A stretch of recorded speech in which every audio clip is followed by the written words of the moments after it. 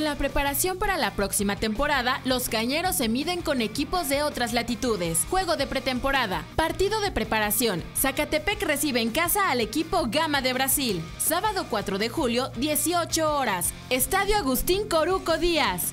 Transmisión en vivo, Canal 49, 154 de Cable Más y las cuatro emisoras del Instituto Morelense de Radio y Televisión y por www.imryt.org.